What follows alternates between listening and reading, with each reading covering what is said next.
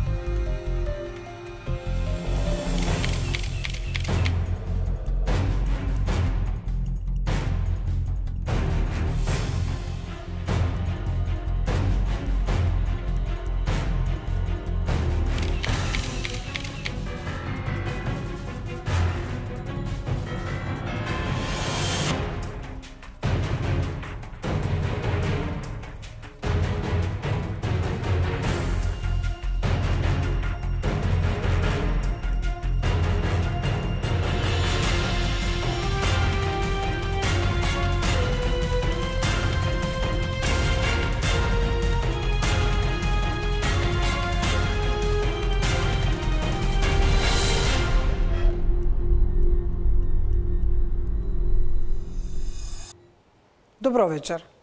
Во Код ке гледате интервју со обвинителката која го води случајот онкологија. Продавени терапии на црно што чинеле 5 или 6 илјади евра. И понатаму следиме што се случува во подземјето, кои се најпопуларните тиктокери, инстаграм и инфлуенсери меѓу нив – Се што е побарано од нас или сме регистрирале како сомнителна банкарска трансакција е пријавено во обвинителството, без разлика на кој случај станува збор. Одговори директорот на Управата за финансиско разузнавање Блажо Трендафилов на прашањето на код за финансиски истраги поврзани со групата Грчест и Соравија. Останете со нас.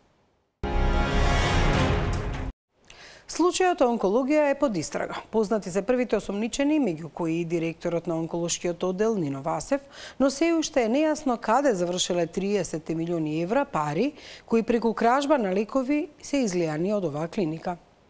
Пациентите се во страф и траур, дека некој можел да краде и од нив, а терапиите чинеле од 15 до 5000 и 6000 евра. Марија Митевска има повеќе.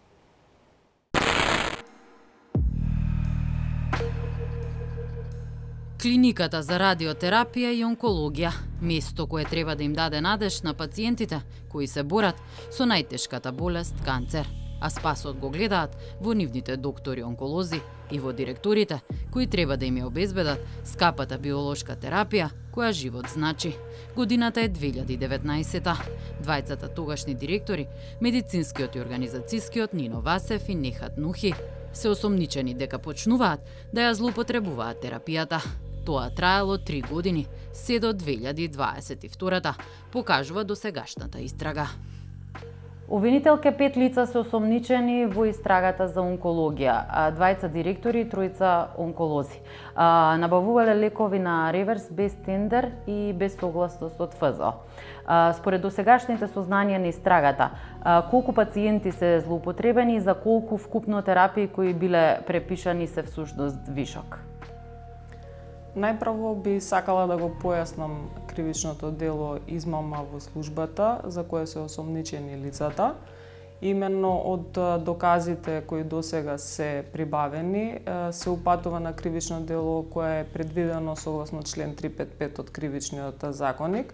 Ова кривично дело го врши службено лице во вршење на службата во конкретниот случај со намера за друг да прибави противправна имотна корист со поднесување на лажни сметки или на друг начин со што го доведува во заблуда овластеното лице да изврши незаконита исплата.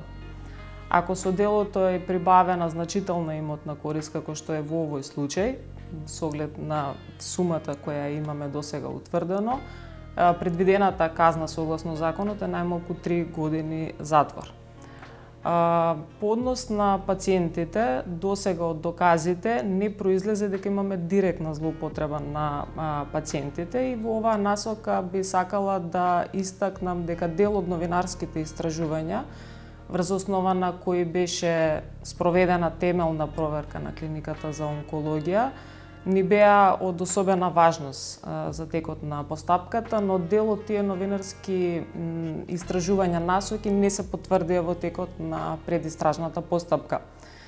Еден дел од сведоците кои давале изјава во медиумите, подоцна во јавното обвинителство на записник, дадаа сосема спротивна верзија на настаните. Неспорно е дека постои основано сомнение за незаконска исплата за набавка и трошење на терапијата спротивно на процедурата и спротивно на медицинските протоколи. Кога велите не се директно злоупотребени пациентите, а, сакате да кажете дека не им се кратени нивните дози или терапијата? До сега во текот на оваа постапка, значи на предистражната постапка, такво нешто не утврдивме. Екс-директорот на онкологија Нино Васев е еден од осомничените. Тој лани пред анкетната комисија во собранието сведочеше дека 14 пати испрекал допис до Министерството за здравство дека е потребно да се набави биолошка терапија, бидејќи пациентите ќе останат без неа. Дали вие досега имате докази за овие негови тврдења? Од досега прибавената и анализирана документација, утврдено е дека набавките на биолошка терапија на реверс од добавувачите, значи во време кога постапката за јавна набавка се уште не била спроведена, не се случувале инцидентно, а, туку таквата набавка станала пракса на наведената клиника во периодот од 2019 до 2022 година а, биле набавувани лекови на реверс 4, 5, 6 или 7 месеци пред склучување на договорите со добавувачите. Во доставената документација нема такви дописи, упатени од клиниката за онкологија до Министерството за здравство со кои се бара да се забрза постапката за спроведување на јавната набавка. Дали тоа всушност и наведува дека сакале да да ја злоупотреба терапијата кога веќе не го известиле Министерството за здравство дека имаат потреба од ваква терапија?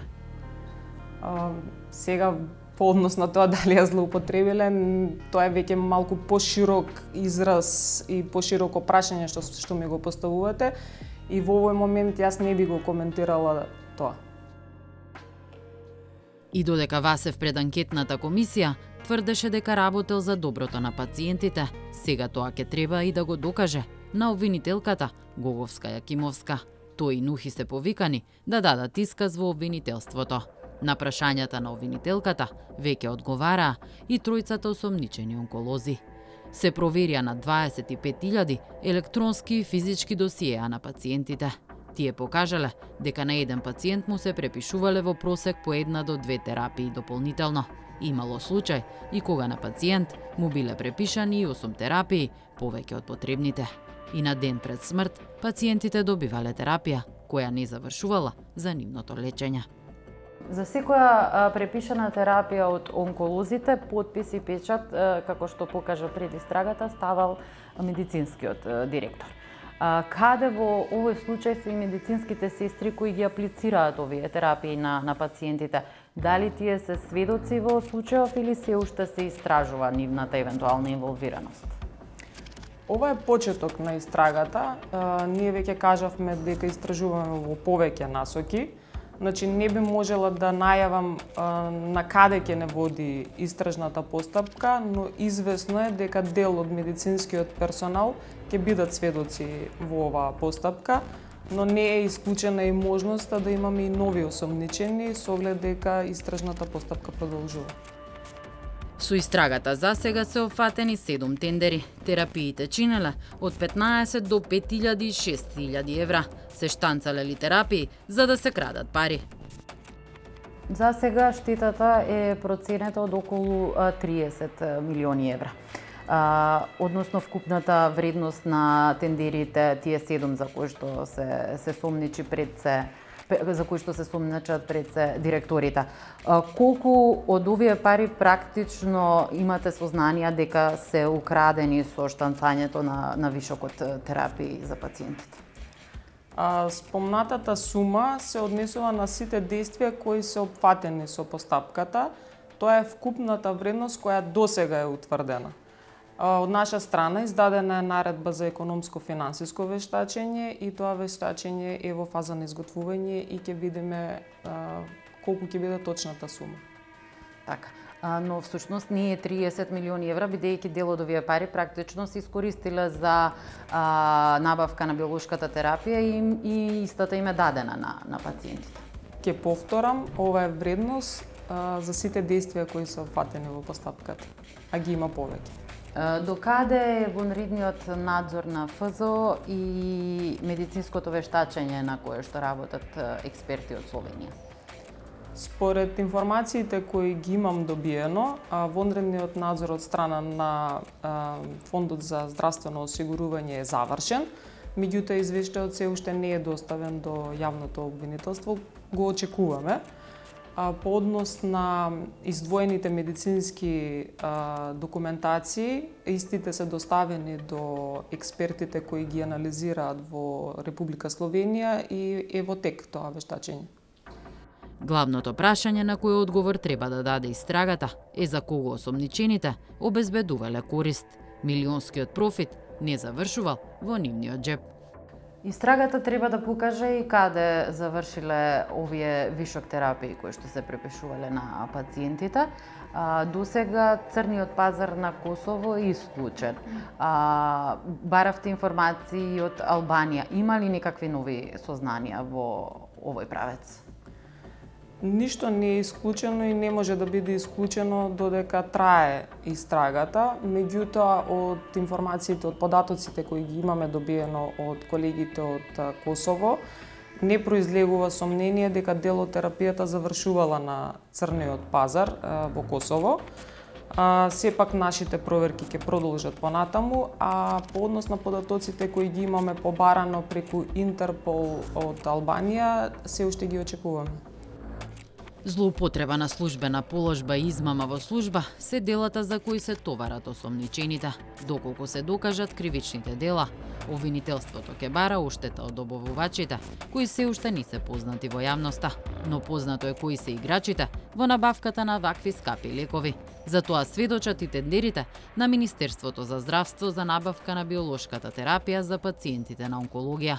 Судот ќе го има последниот збор, дали добавувачите ќе се најдат во небрано и ќе треба да ги вратат украдените пари од скапата биолошка терапија, која ја давале на реверс, без тендер и без согласност од Фондот за здравствено осигурување.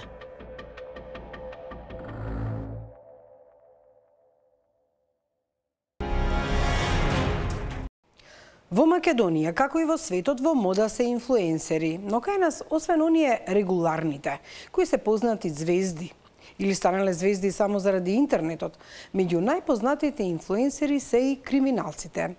Едни на TikTok, други на Instagram, трети на Facebook, бандите го обележале и овој простор според своја територија. Срджан Стојанчов за фотките на Шеваљ од Бразил, за снимките на Тоте од Идризово, за Инстаграм профилот на Штекли.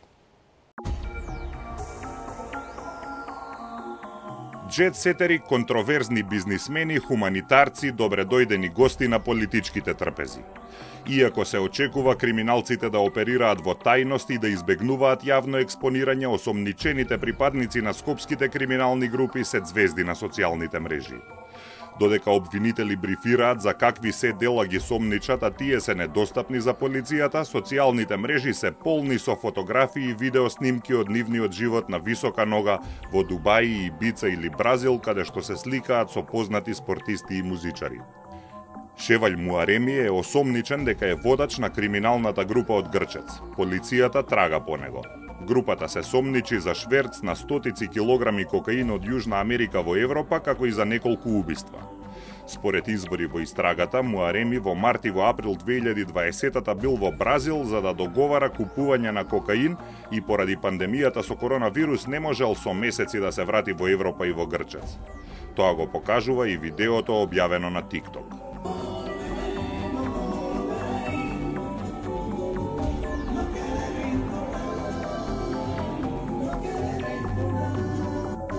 За време на полициската акција Планина во 2021 година, кога полицијата апсеше осомничени дилери во Грчец, на социјалните мрежи се појави снимка од Муареми во клуб во Ибица, каде што се забавува покрај фудбалските звезди Лео Меси и Луис Суарес. Тогаш не беше ни меѓу осомничените. Во последните месеци објавува снимки од Дубај, каде што се слика со познатиот УФЦ борец Хамзат Чимаев и со албанскиот рапер Клевио Масони. Слики од Дубај кон крајот на јануари објавува и Раде Трајковски штекли. Според полициски извори на Код, како човек под заштита на ривалската група Беланоца, тој бил во Дубај за да се смират непријателствата со избеганиот Муареми. Осомничените за криминал не го кријат луксузот во кој што живеат. Често ги гаснат или менуваат профилите на социјалните мрежи, но армии и нивни обожаватели постојано ги реобјавуваат нивните снимки, славејки ги како модерни Робин Худови. Речи си и да нема политичар од регионот со кој осомничените криминалци не делеле софра, а фотографиите експресно се шират на социјалните мрежи.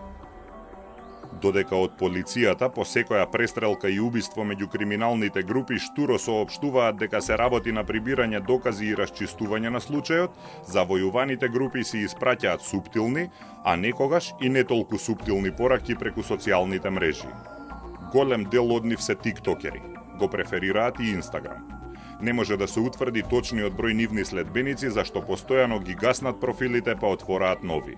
Пораката која што ја праќаат организираните криминални врз граѓаните е многу заплашувачка, предизвикуваат револт, предизвикуваат згрозеност и создават една ситуација на правна несигурност која што граѓаните ја чувствуваат одејчи во тоа дека истите тие криминални групи си земаат за право спротивно на закони нели да пукаат на јавни места на кај што има голема фреквенција меѓусебни пресметки и за сето тоа да не одговараат, што значи дека пораката е пратена. Ние сме тука тука газдите, а не државата на одреден, нели, на одредена територија како што требат, односно они се секој пат со тоа покажува дека се над институциите, над полицијата, над јавното обвинителство, над судовите, ако сакате и над сите а, други институции. Објавите најчесто им се за покажување на скапата брендирана гардероба, автомобили и накид, луксузните локации на кои што престојуваат и познатите личности со кои се среќаваат. Стануваат и доли на големи групи тинејџери кои импресионирани од нивниот начин на живот се обидуваат да ги емитираат. Тоа е она што ние викаме од социолошки аспект нивното негативно влијание врз вкупната популација, особено кај младите кои што нели секој пат се предизвикани од тој лагоден живот, од тие да скапи одмори, од тие дружби, од тие джетсет дружби.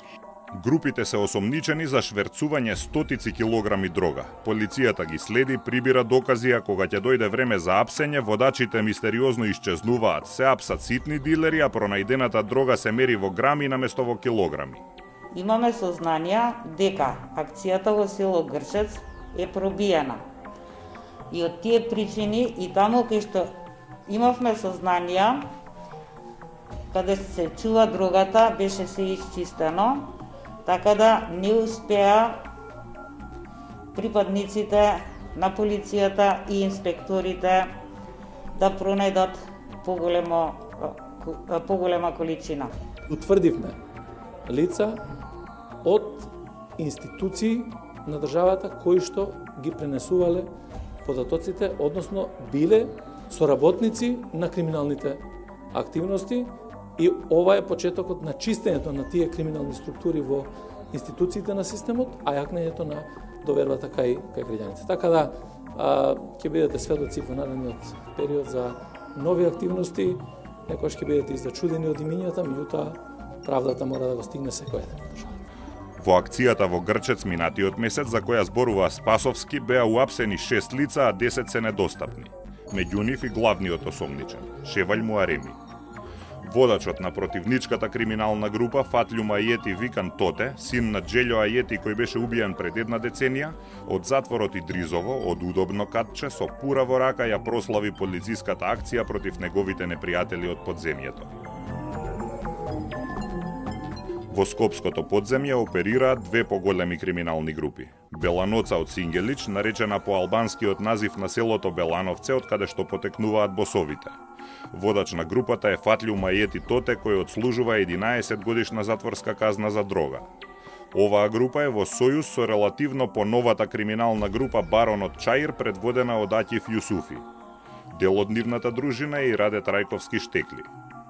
Другата група е Дуќанчи Грчец. Начело на оваа група, според полициски извори, е Шевалј Муареми по кого се трага. Во негово отсуство, групата ја водеа Јетон Кривањева Жила, кој беше убиен во март минатата година во Шишабар во Скопската чаршија заедно со едни Сеинов Љаци и Орхан Бајрами Оки, кој летоска беше убиен во Ханиоти во Грција. Нивните соперници не го криеја задоволството. Убиениот Кривањева градеше имидж на бизнисмен хуманитарец кој подарува станови на социјално загрозени семејства. Не бил имун ни на српски старлети. Јас сум цел живот окружена опасни момцима, тоа е тако, шта да радим. Ух, тај мој бивши дачко се бави криминалом, тоа што се бави. Јас се заљубила у njega тако какав јесте, тражила сам у njemu нешто добро, он је, он је желео, не, не знам, желео, он је meni доста помогао у животу, стварно, ја то не могу да оспорим. Како заменик на Муареми сега се сомничи Мухамед Далипи викан Руди Кудаме. И тој е во бегство, веројатно во Косово. Подржувачите на социјалните мрежи веќе го прославија како лидер.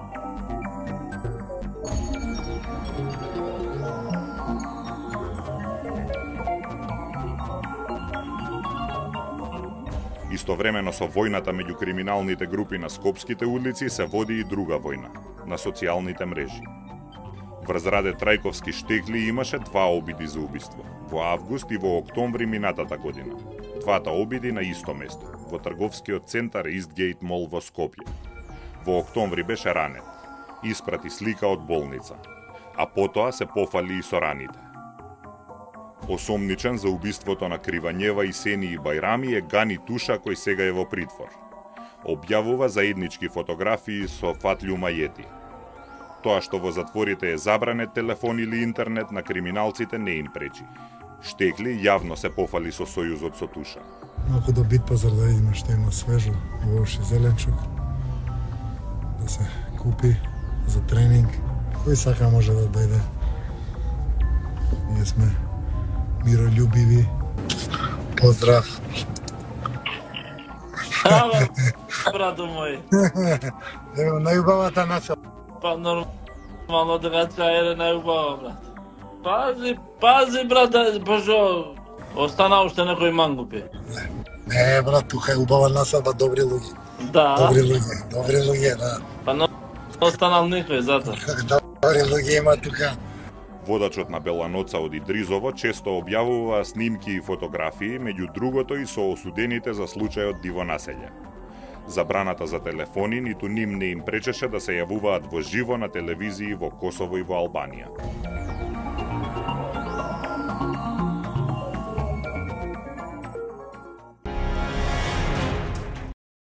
Се што е побарано од нас или сме регистрирале како сомнителна банкарска трансакција е пријавено во обвинителството, без разлика за кој случај станува збор. Одговори директорот на Управата за финансиско разузнавање Блажо Трендафилов на прашањето на код за финансиски истраги поврзани со групата Грчец и со Соравија. Во интервју за Код Трендафилов објаснува дека со последниот извештај на меѓународната Монивал, државата докажала дека има поотпорен банкарски систем на перење на пари од соседни држави како Србија, а и членките на Европската Унија, Бугарија и Хрватска. На тој начин е овозможено полесно и побрзо реализирање на финансиските трансакции со странство. Тој јавно се заблагодари на обвинителката Русковска, бидејќи во неизино време биле достигнати успешните оценки во еволуцијата на Монивал при спроведувањето на финансиски истраги и против перење на пари и против финансирање на тероризам. Во Македонија, на консолидираната листа за санкции за терористи, има 15 луѓе кои се под внатрешни санкции, открива Трендафилов за код и објаснува како измените на законот за рестрикции ќе влијат врз работата на управата за финансиско разузнавање. Миомир Серафиновиќ го има ова интервју. Вечерва во Кот имаме интервју со директорот на Управата за финансиско разузнање, господинот Блажо Трендафилов. Господин Трендафилов, прво ќе почнеме со извештајот на Монивал, на организацијата Монивал. А, изготвен е и е презентиран а, кон крајот на минатата година. А, кој а, главно има добри карактеристики, иако остана се нотирани определени проблеми, особено во финансиските истраги, истрагите за перење пари и обвинителството. Има ли начин за подобрување и на а, тие проблеми и кои се всушност ризичните области за за перењето пари во Македонија според Монивал? Извештајот на Манивал за Македонија овај извештај е најдобриот до сега што го имаме добиено. И сме светла точка на Балканот. Ние не сме, јас не сум радосен кога зборувам за Бугарија, за Србија, за Албанија, за Турција, зашто нашите банки треба да имат засилен мониторинг на тие лица, дали правни или физички, мора да ги следат. Но за нас македонците е добар и до следниот извештај имаме право да ги исполниме сите обврски што се таму, али како ние ќе ќе посакаме, како ние одиме по редот. 11 теми се испитува испитува институциите на 11 теми. Ризичните области кои се? Нема држава во која нема препорака за подобрување на понатаму на на цел на движењето на одредени како што рече спомнавте обвинителство. Он значи беше најтешка таа седмата препорака, седмата е, тема, но на крај на пленарната седница се дообјаснивме и во споредба со други држави го добивме тој рейтинг. Во последните од 2018 година, кога е започната и Базелски институт кој дава оценка на државите за перење пари, не рангираше на четврто место, заедно со Финска. Значи, 2018, 2016 не рангираше со земја со нај негативен напредок. Значи, тогаш ги исполнивме сите препораки. Во Македонија многу бро, голем број на луѓе примат пари од странство. Со тој извештај и понатаму ќе ги примат. Додека ако беше негативен извештајот, ќе се засилеа, ќе паднеше цел банкарски систем, значи кореспондентството банкарство ќе падне во во истиот момент кога го донесуват извештај. А, за фирмите кои имат извоз, значи ќе биде поскапа значи банкарската гаранција отколку што ќе добиеш за извозот. И Србија, на пример, беа една година на таа сива листа која е многу црна. Они не известија дека има милиарда и 700 долари загуба за една година. Каква загуба? Финансиска загуба. Тоа е со а, извозот. Значи, не може да ги... Ако праќате од овде пари, ќе треба да одите преку некои мали банки, пошто кореспондентското банкарство веќе не работи. Значи, банките ќе имат проблем. А, иде до месец дена се чекаа парите. Значи, се испитува потекло, се дават документи. Секој дневна нервозна би била а, предизвикана, иако они не се виновни. Обичните граѓани и а, трговците не нема во тоа вина, али тоа е ставањето на, на сивата листа. Сака, сакате да кажете дека овој извештај а, карактеристиките, оценките од овој извештај придонесуваат луѓето кои имаат финансиски односи, граѓаните кои имаат финансиски односи, односно примат или испраќаат пари во странство, а услугите за за тоа сега се по поевтини, побрзи и поефикасни. Да, да. Врз основа на тој извештај. Врз основа на тој извештај. Зошто? Сега, прво, кога ќе дојде ММФ да, да дава за некаков кредит на ММФ, веднаш го гледат рейтингот. Тој ја подобру, ја подобри а, Македонија во својот рейтинг. Значи, позитивниот извештај а, овозможи да се понатаму одвива нормално да биде нормално плаќањето со странство. Плаќањето со странство и праќањето на пари од странство овде. Пошто знаеме колку луѓе примат пари од странство овде, е голем допринос на извештајот. Кога се случува тестирањата, тие баш теренски тестирања и истражувања и кои во кои институции, особено овие што се за гонење на да. организиран криминал, Сега. кога беа? Сега. Во кое време? А, тоа се случи во октомври 2022. И беа викнати на интервју преку 200 луѓе. 21 ден беа еволуаторите во Република Македонија. 10 луѓе.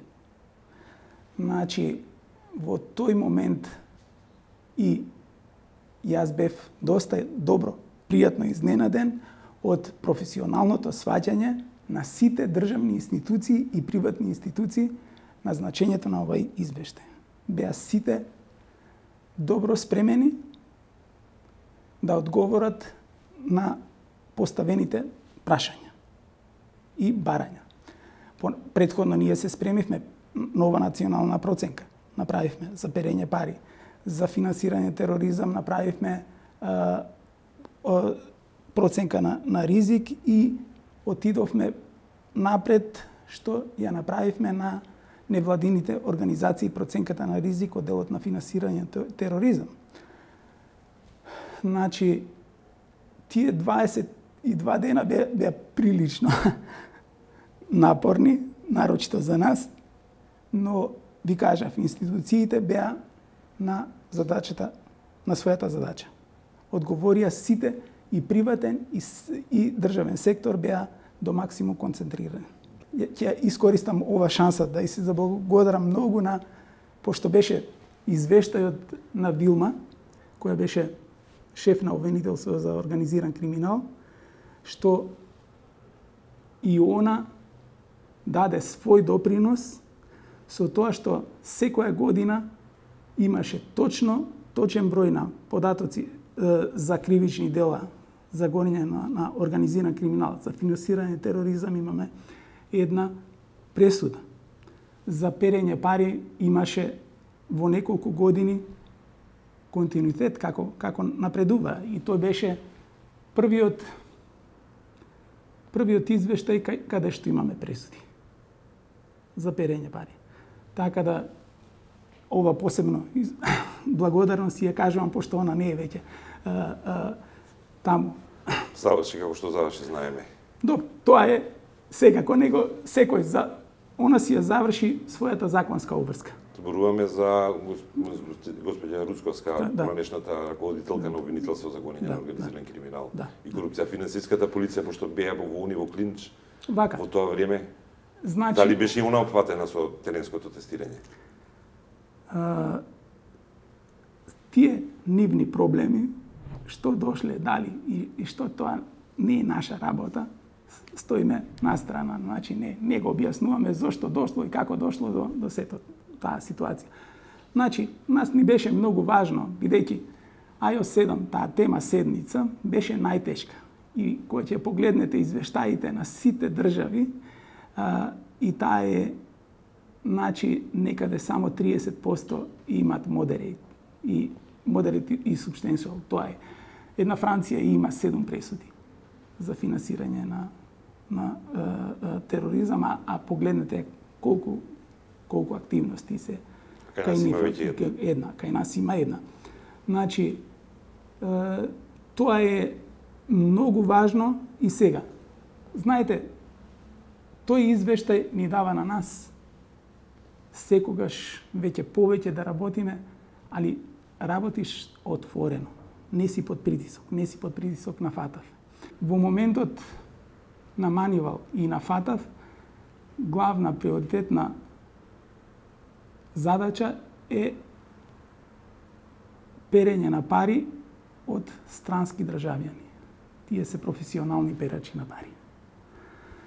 Значи, во Македонија имаше неколку обида, почнато влезено, почнато, откриено, зауставено. Значи, тоа е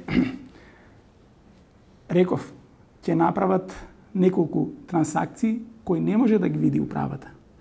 Но за кратко време понатаму добивате извештај од банка дека овие луѓе се занимаваат со перење пари. Од каде беа тие луѓе и со чии пари работеа? Во кој период? Се. Пари, парите на државите не можеме да, да, да ги спроведеме, да, да ги кажеме дека се точно државни пари, али беа луѓе од Венецуела. Што беше тој случај? Да Значи, работев, тоа да. што го работевме ние за код? Веројатно, вер, веројатно да, да, да, да, тоа, тоа е. Значи, тоа е ед- еден од случаите. Имаше и други слични случаи? Има и, и други случаеви, али Каде што ние сме за приватни, за приватни лица кои се обидуваат да исправат Да, пари да, преку Македонија. преку Македонија. И се спречени Се спречи. За одстранство. Да. А во врска со овој извеш... со извештајот и со Монивал кога нели за кога разговаравме, вие веќе кажавте, а, Македонија е подобро од другите земји. Што станува на пример со Бугарија, Хрватска, кои се европски држави или со соседството? Дали сме ние навистина подобри или Да. а тие навистина имаат проблеми како што веќе ги спомнавте со Србија? Па ние сме подобри од нив. Значи, од сите соседни земји, да, да речеме дека Бугарија е членка на Европска Унија, Хрватска е членка на Европска Унија. Сега, во други, еве, Монако е на членка нели, на Европска Унија, дека и они се на таа листа. Значи, на Европска Унија а се на сива листа, што е многу црна, Што е полоша состојба од нашата. многу полоша. Многу полоша на организација на системот за спречување перење пари. Актуелни се измените на законот за рестриктивни мерки. Знаете дека постојат две видувања. Едната е поврзана со човекови права, дека станува збор за грубо кршење на човековите права загарантирани со уставот, додека второто објаснување пред се на предлагачот на законот, владата, МНР и останатите субјекти е дека станува збор за координација со стратешките партнери пред се Соединените Соединетите американски држави во однос на нивните црни листи, меѓу кои и беа спомнати и препораките на Монивал. Што минува во системот за работа според вас овој нов пред, овој предлог закон, бидејќи вие сте сериозно фатени со обрски кои го кои произлегуваат од тој закон и што мислите воопшто за законот за овие две толкувања? Вака, сега моје мислење за законот нема да ви кажам, пошто значи ние го спроведуваме законот, а не го носиме. Значи кои обврски? Обврските на со рестриктивните мерки ќе ни останат исти бидејќи сите лица кои ќе се најдат на тие на ОФАК листата мора да поминат владина процедура. Значи да донесе владата одлука и ќе бидат ставени. Додека за е, листата на Обединетите нации, која е без одлагање, во, во првата секунда кога ќе се објави некое лице на неа, таа тоа излегува дека е не одлучува судот за тие луѓе. Тоа се луѓе терористи или терористички организации. Според актуелниот закон, а тоа останува и понатаму, а, Управата за финансиско разузнање е задолжена да ја состава, односно да се да ја, да. ја, да ја одржува таа така наречена законски со законски речни кажано консолидирана листа на поединци и правни лица. Може да ни кажете колку лица, колку поединци има на таа листа, колку фирми, од каде се доаѓа, дали се одржува и дали сега на таа консолидирана листа ќе дојдат и македонски државјани кои ќе се најдат на црните листи на пред се на САД да. или на Велика Британија. Значи, со законот сме обврзани да ја одржуваме консолидираната листа на Обединетите нации. Значи, таа мора во првиот момент, кога ќе се објави на вебсајтот на, на Обединетите нации, во истиот момент доаѓа и на нашиот вебсајт. Тој е електронски и со тоа добиват субјектите веднаш за кого да ја применуваат. Значи, консолидираната листа, да резимираме, е исклучиво за финансирање Тероризам, на тер- тероризам, тероризам. односно за а, употреба на тероризам во Да, да, да. а, светските рамки. Колку лица има на нашата листа? Има ли од македонски државјани? реков, имаме локална консолидирана листа. Локална со 15 луѓе Од кои- Македонија. од Македонија кој ги има ставено обвинителство со нивна а, одлука. Значи се номини се бара до влада да се се стават тие лица на црна листа. Понатамо е, владата одлучува дали ќе ги стави и тоа се до сега се 15, а на светската мислам дека се од прилика 6000. Не, Се исклучиво зборуваме за тероризам, Тероризам. не за корупција и перење Или пари како да, да, а, како сериозно кривично дело. да. А, значи, се обидела ли тие луѓе што се од светската листа? Било, Да, во, да, во, да во Македонија, во да Македонија користат немаме нема нема до сега најдено не се појавил некој што ќе Премина сега во врска на конкретните случаи. Последни пред 20 пред 15 на денови ја има беше акцијата а, со групата Грчец. А, полицијата во, уште во своето соопштение наведе дека станува дека ќе треба да се отворат и финансиски истраги и дека од предилика некои имоти веќе се а, земени, односно не конфискувани, туку замрзнати, забранети за користење од страна на припадници на таа група. А, имате ли сознанија за какви за какви финансиски а, трансакции, акции на таа криминална група станува збор? Откриено ли нешто? Побара ли обвинителството конкретно нешто од вас? во моментот и ако и има за одреденот, одредената акција има до управата доставено, да речеме, обвинителство или МВР, секогаш нашите истраги се вклучени во предистрагата. Предистрагата е тајна, значи е тајна и останува понатаму да ги барате овие податци од обвинителство. Они кога ќе отворат веќе истрага, тогаш е, и, и таму не смеат да спомнат дека овие податци се прибрани од од разузнавање. Добро, сепак станува збор за голем случај, за големи пари, Да. за меѓународен. Да. Ари, трговијата со дроги, перењето пари преку трговија со дрога е еден од најголемите Да, да. ризици од тие Да, да. четири што ги спомнавме според Бонивал. Да. Затоа и ве прашуваме, дали е Да. преземено во тој Значи- дел во согласно барање на обвинителство или самостојно сте забележале веќе ние? Значи, затоа ви кажувам, има се што треба да се превземе, веќе управата преземава. Во втор случај исто така бевте спомнати како институција од која се побарани информации, односно определени активности. Тоа беше случајот со а, купопродажба, купопродажбата на а, Соравија. Во тоа е вклучен и внук на политички лидер, лидер на политичка партија од на Македонија.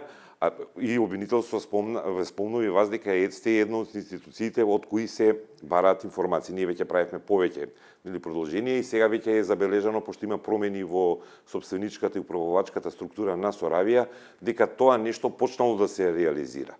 Предходно немаше информации дека е направена трансакција. Ние објавивме дека има трансакција. А каква ви е соработката со обвинителство за организиран кри- криминал таму и што е откриено? Имало ли трансакција? Сте ги известили ли за тие работи? А, вака, пак ви нагласувам, све што требало да се извести и све што требало да се сработи е сработено за било кој предмет. Кога обвинителство ќе достави барање одредено или ние ќе доставиме одреден извештај, тоа е сработено од страна на управата. Благодарам. Благодарам.